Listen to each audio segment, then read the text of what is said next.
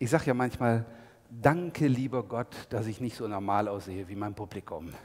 Ah, ja, ehrlich, der liebe Gott hat mir permanent einen Anlass gegeben, meine Lebensqualität zu erhöhen. Ist wirklich wahr.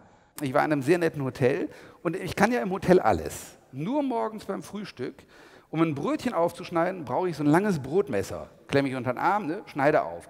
Hat es nur so ein kurzes Schmiermesser, da reicht die Kraft nicht, um das Brötchen aufzuschneiden. Und dann nehme ich natürlich einen Teller, lege ein Brötchen drauf, bin ich zur nächsten Servicekraft gegangen, sage, entschuldigen Sie, würden Sie mir mal bitte das Brötchen aufschneiden? Die Dame sah mich zum ersten Mal. Ja, natürlich, das mache ich total gerne. Sagen Sie mir gerade, was Sie drauf haben wollen. Ich mache schnell alles fertig. Früher hätte ich dann gesagt, nein, nein, nur aufschneiden, den Rest kann ich alleine. Über dieses Stadium bin ich heute weit hinaus.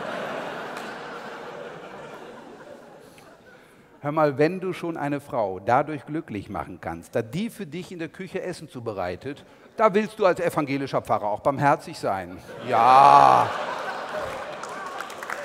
Natürlich.